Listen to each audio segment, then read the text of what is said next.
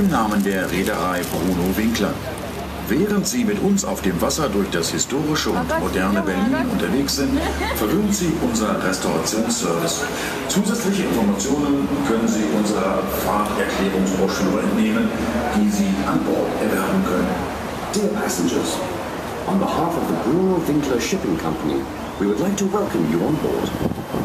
Whilst you're with us on the water, passing through the historic and modern city Berlin, our restaurant service will attempt to spoil you. You can obtain additional information from our description brochures, which you can purchase on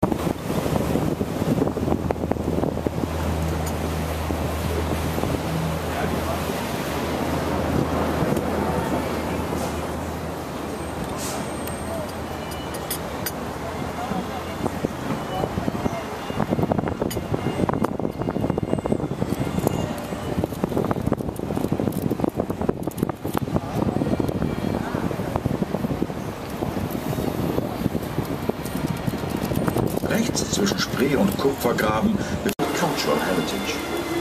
Die Museumsinsel ist das größte Universalmuseum der Welt mit fünf Museen und Kunstwerken aus 5000 Jahren Menschheitsgeschichte. Sie gehört zum Weltkulturerbe. Hier befindet sich das größte Universalmuseum der Welt mit Kunstwerken aus 5000 Jahren Menschheitsgeschichte. Fünf Museen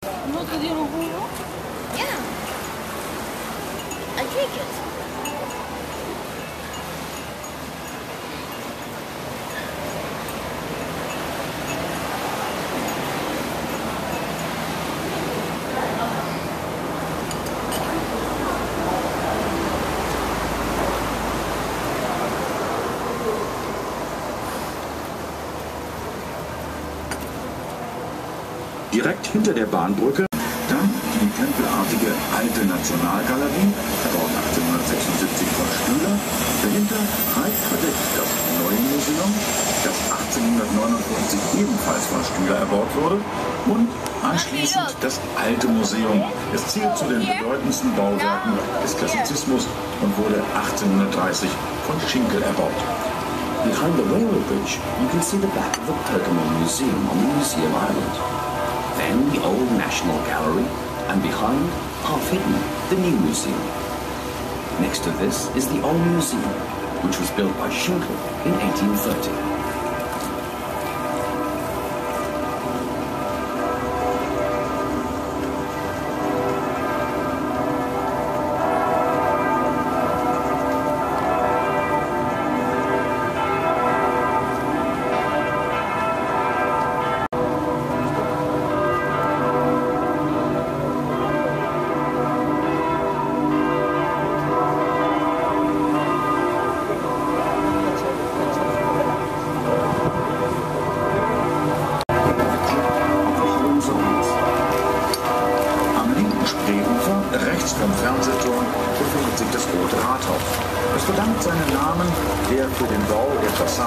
verwendeten rötlichen Klinkersteine und ist seit 1991 der Amtssitz des regierenden Bürgermeisters.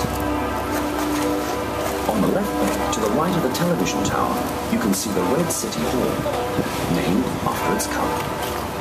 Am rechten Ufer stand auf dem Gelände des ehemaligen Stadtschlosses der Palast der Republik. Hier tagte die Volkskammer der DDR und es fanden viele Veranstaltungen statt. Gleich dahinter, am rechten Ufer, der Marstall. Dort waren zu Kaiserszeiten die Rüstkammer, die Stallungen sowie die Kutsche.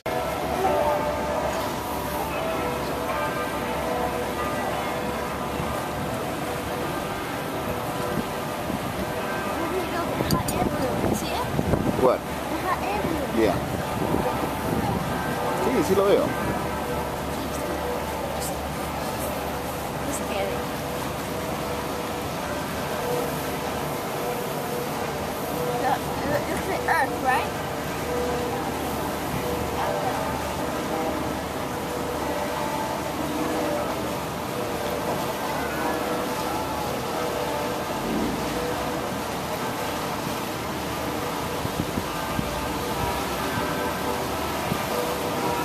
Besonders schön ist das 1897 errichtete Kurfürstenhaus mit seiner Neorenaissance-Fassade aus rotem Sandstein.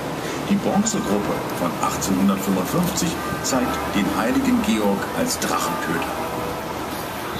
Im Herzen dieses Viertels sehen Sie die spätgotische Nikolaikirche mit ihren Zwillingstürmen.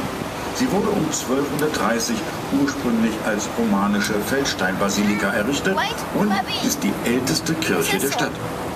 Den Abschluss des Nikolaiviertels bildet die Rokoko-Rückfront des 1766 erbauten Ephraim-Palais mit dem schönsten Balkongeländer Berlins.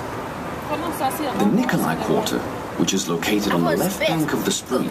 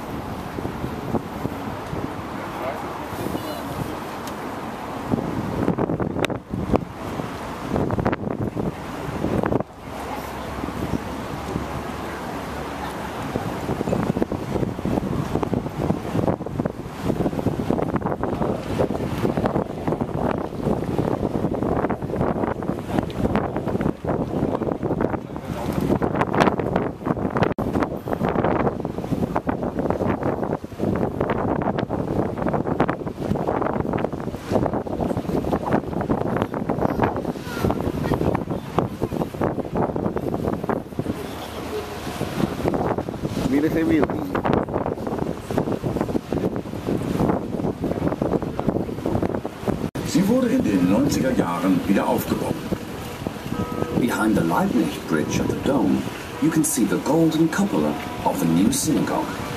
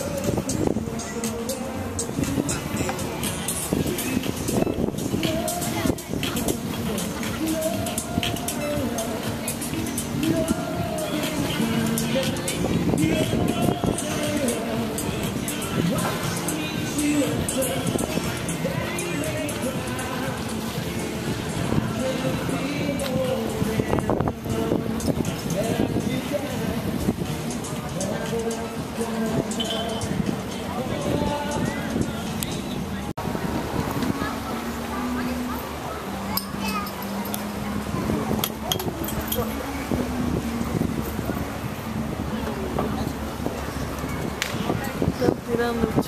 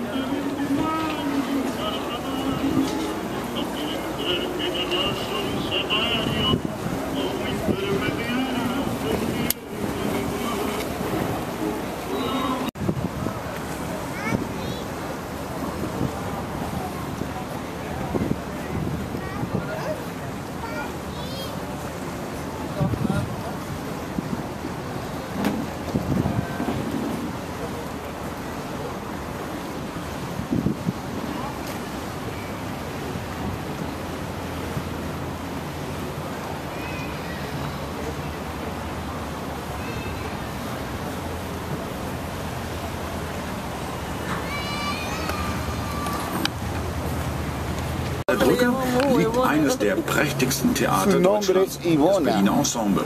Hier wirken Bertolt. Brecht und Helene Weigel. Friedrichstrasse crosses Weidendammer Bridge. It is one of the most important shopping streets in Berlin. And there are also many theaters near here. Vor uns am linken Ufer sehen wir den Bahnhof Friedrich.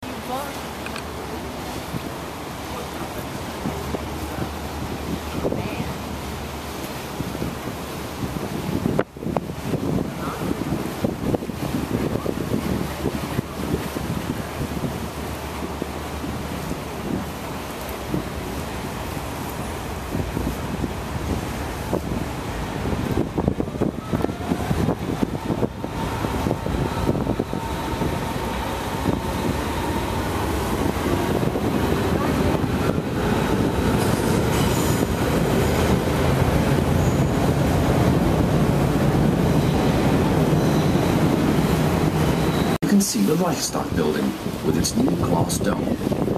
Designed by Lord Norman Foster, it is possible to walk to the top of the spiral with breathtaking views. The German Parliament has met here since 1999. Wir kommen nun zum Band des Bundes. Diese neuen Regierungsgebäude erscheinen aus der Luft. Im Marie-Elisabeth-Lüders-Haus findet man unter anderem die Bundestagsverwaltung, die Bibliothek und den Besucherdienst und öffentliche Einrichtungen für Bürger.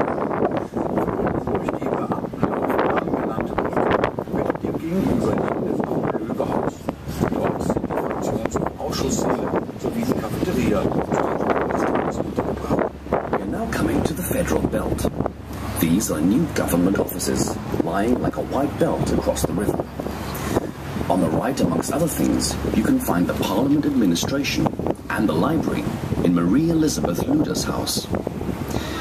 Connected to this via the so-called civil servant route is Paul Löber House, opposite with its committee rooms and cafeteria.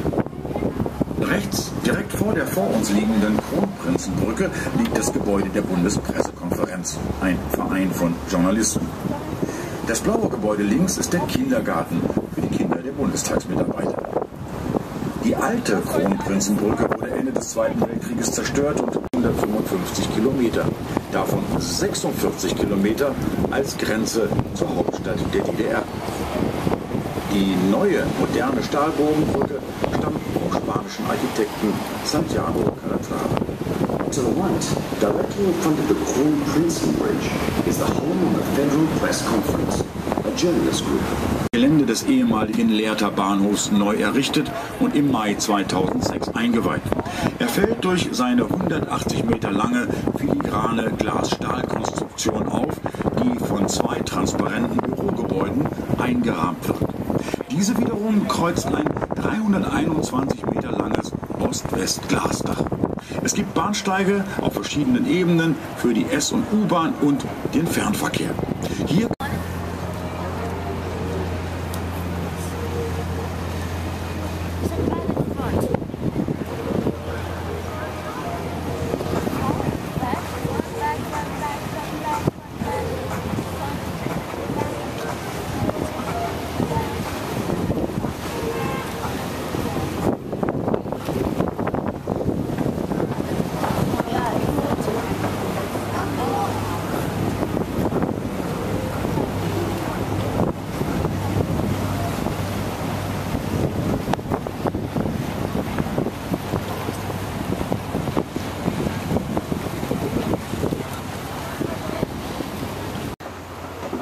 right, the Chancellor's Park with a helicopter landing place forms the end of the belt. The double landing platform for the Chancellor connects these parts with the Chancellor's office.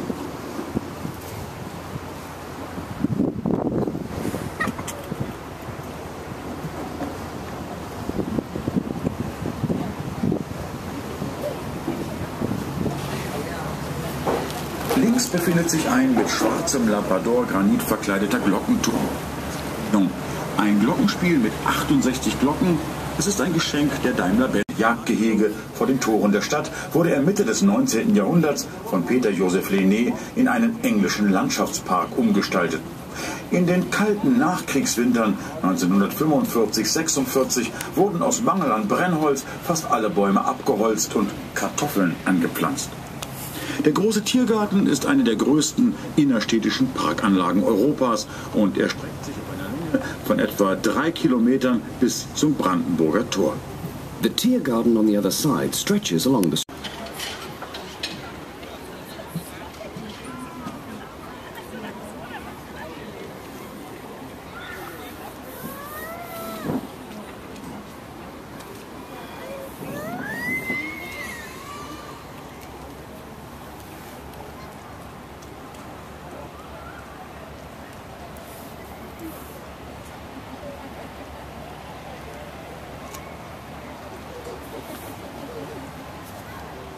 Das Band des Bundes, das Sie rechts sehen, geht auf den Plan der Berliner Architekten Axel Schultes und Charlotte Frank von 1992 zurück und wurde zwischen 1997 und 2000 money.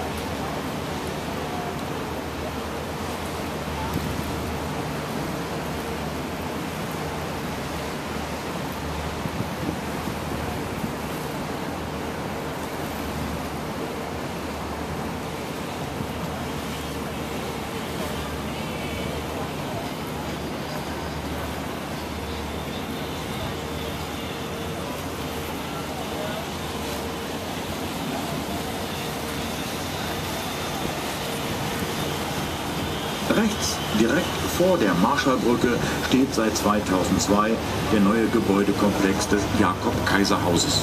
In diesem größten deutschen Parlamentsbau befinden sich ca. 2000 Büros. Das ehemalige Reichstagspräsidentenpalais von 1904 wurde integriert.